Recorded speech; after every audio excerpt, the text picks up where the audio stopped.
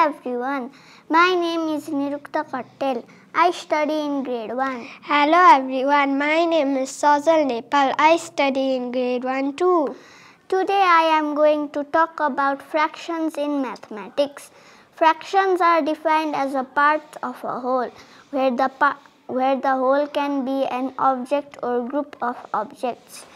Here I have one slice, one slice of bun and I am sharing half of this bun with my best friend as he forgot his lunch at home.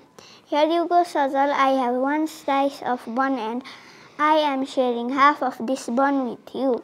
Thank you, Nirukta, uh, for sharing a part of bun with me. you made two equal part of the bread. You are most welcome. Yes, do you know in fraction the part you took from the whole is known as 1 by 2 whereas 1 is known as numerator which represent the number of parts taken and 2 is denominator which represent the number of parts of a whole.